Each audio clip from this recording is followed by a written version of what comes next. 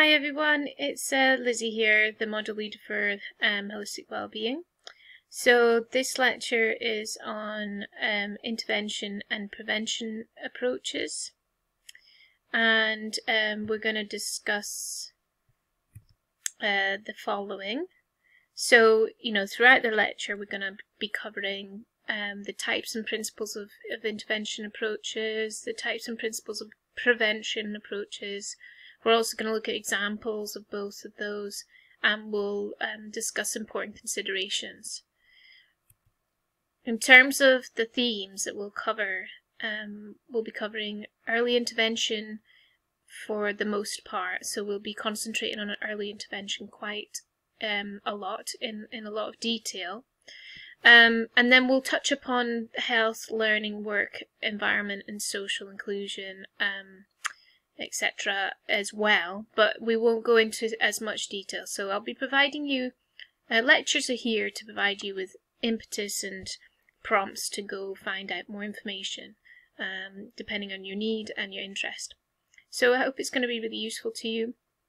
Okay, I focus on intervention, early intervention mostly because I think it, it encompasses quite a lot of the themes already and it's just a very good strong example with a good evidence base. Okay? So um, early intervention services uh, can be delivered um, to parents children and um, whole families um, but their main focus is to improve outcomes for children. So, for example, services may help parents who are living in challenging circumstances and provide a safe and loving environment for their child. Or if a child is displaying risk taking behaviour, early intervention um, approaches might work with the children and their parents to find out the reasons for the child's behaviour and put strategies in place to help keep them safe. Okay, so effective early intervention um, works to prevent problems occurring or to tackle them head on when they do before problems um, get worse. Or they can um, work to reduce the risk factors and increase the protective factors in a child's life. They can also foster a whole set of personal strengths and skills that prepare a child for adult life. Um, there are three main um, forms of early intervention, but the, again, this is not an exhaustive list. Um, but for example, some forms are um, involve home visiting programs to support vulnerable parents. Others are school-based programs, um, and they can improve children's social and emotional skills. And then others are mentoring schemes for young people who are vulnerable to um, involvement in crime, for example. Some key arguments to remember here is that some do argue that early intervention may have its strongest impact when offered during the first few years of life. Okay, and there is evidence to support that. However, there is also very strong evidence to show that effective interventions interventions can improve children's life chances at any point during their childhood or adolescence. So there's not this kind of um, position of it's too late. Um, there's always something that can be done. Okay, so here's some of the risk factors that can threaten um, a child's development or limit their future social economic opportunities um, or increase the likelihood of mental health and physical health problems, criminal involvement, substance misuse, etc. There's a number of risk factors that lead to um, those potential outcomes. However, they are not deterministic or predictive at an individual level, and that's very important to remember. Um, because studies show that early intervention works best when it's made available to children on the basis of pre-identified risks okay? But it, what it means, that deterministic predictive aspects, just because risk factors are there in a child's life, it does not necessarily mean or predict that that child will have any issues.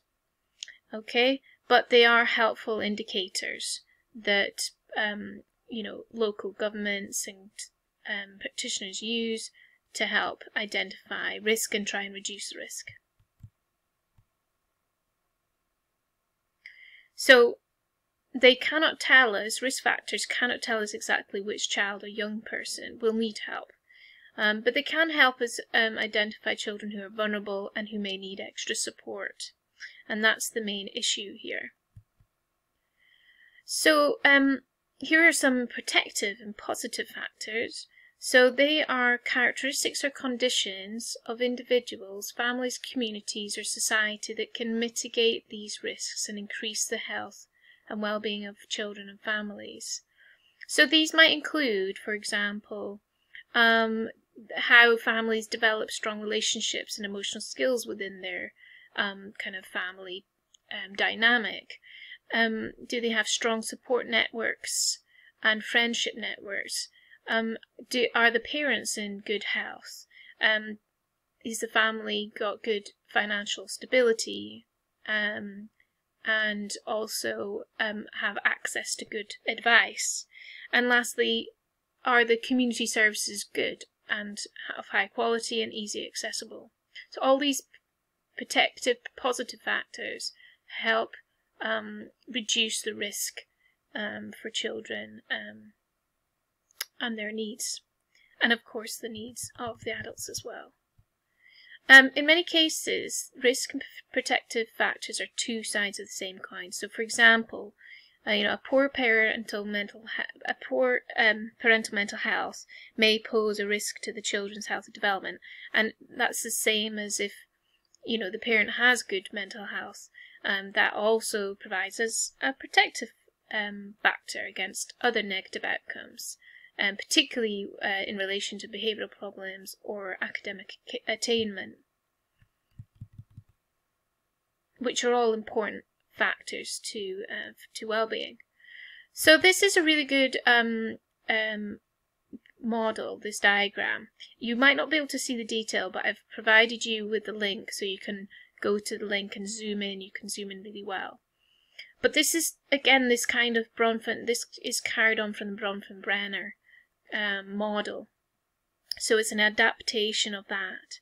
And it goes in really nice detail about all those different layers that influence um, a child or an individual's uh, mental, uh, uh, sorry, well-being. Okay, and it also highlights the risk factors of the different levels, um, and they cross the individual, the family, the community, and the societal levels. So the societal levels is purple, communities, the green, um, and probably a little bit of the grey as well. And then you've got the individual and the family uh, uh, being the, the, the dark grey and the light grey. Okay, so really, really interesting, and I'd advise you to go into more detail about uh, that model. And here's a really good table showing the the risk factors and the positive factors um, relating to the child. So they're listed there. I'm not going to read them out for you. Um, but they, it's just really shows the kind of flip of the coin, if you like. Um, so that's the child. And then this um,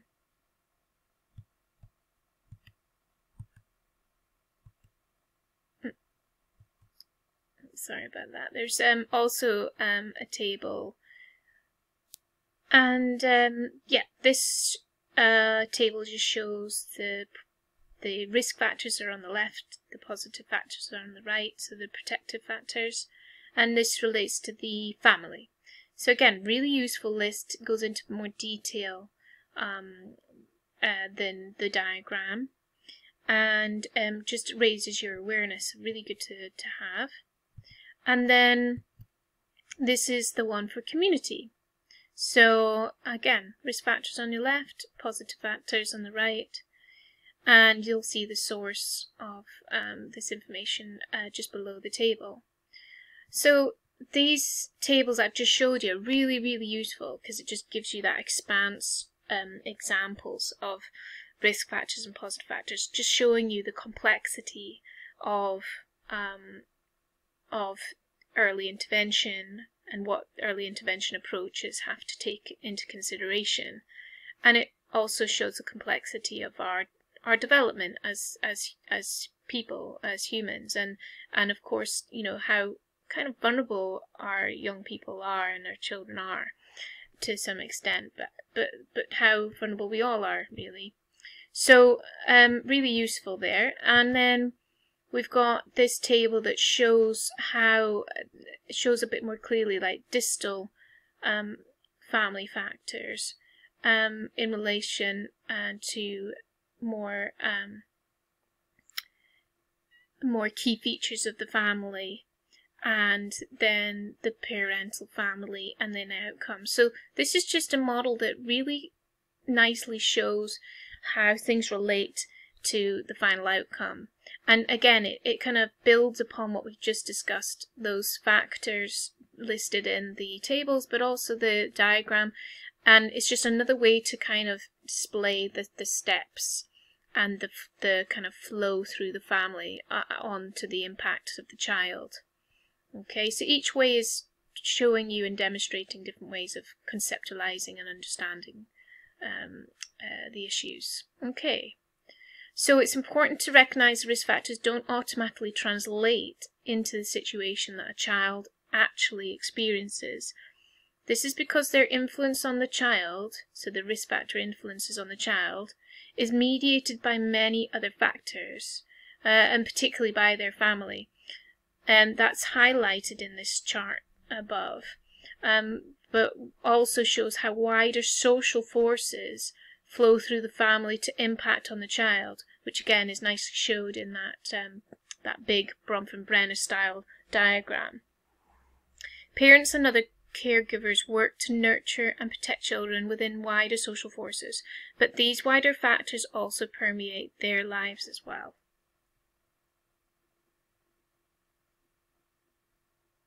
So I'm going to just pause, uh, stop the video there because there's only a 15 minute um, um, limit to these recordings and I'm at 12 minutes now and um, the next bit of the lecture is, is just a good place to pause here and then we'll go on to the next bit of the lecture. It will carry on talking about early intervention um, in this part two. This one is part one. Okay, so I'll pause here and I'll um, record the next part of the lecture. Part two.